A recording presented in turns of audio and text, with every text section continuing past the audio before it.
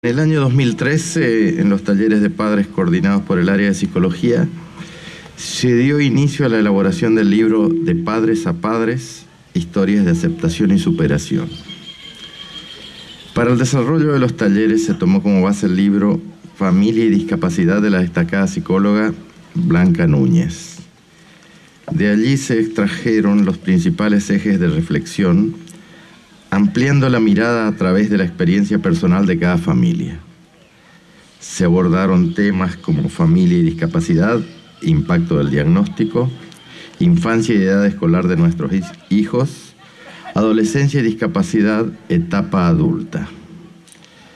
Este libro es el resultado de un proceso que nos permitió a padres, madres y familiares no solo reflexionar sobre temas específicos, sino también dar lugar a otras maneras de acercarse a la realidad de mirarla de forma más funcional y adaptativa.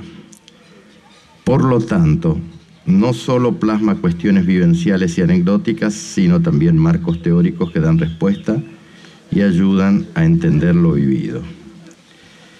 Esperamos que esta producción resulte útil para todas las madres, padres, hermanos o cualquier persona y puedan verse reflejado en lo que vivimos los familiares del SET. Se construye juntos. Y este gracias enorme, eterno y desinteresado es para la el gobierno de San Carlos Centro, que estuvo con nosotros en cada detalle, porque no solo es el venir y decir los ayudamos, sino que estuvieron, hasta en el mínimo detalle se los puedo asegurar.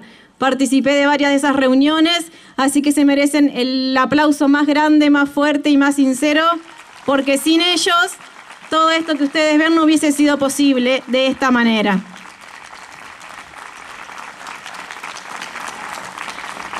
También un eterno gracias a cada una de las colectividades que desinteresadamente y arriesgando un montón eh, nos están acompañando.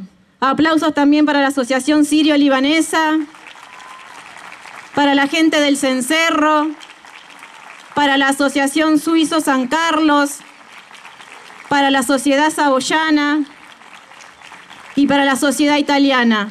Muchísimas, muchísimas gracias por estar, por bancarnos, por apostar, porque el día venía complicado. Esperemos que salga el sol y la gente se sume a, a disfrutar de cada una de las preparaciones que con tanto esfuerzo seguramente cada una de estas colectividades ha preparado.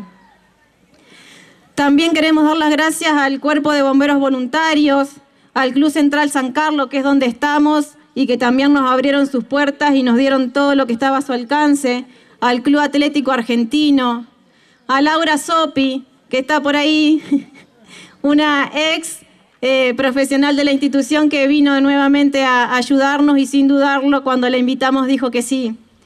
Y también muy especialmente a la firma Primo y Compañía por una donación que nos han realizado por nuestros 25 años.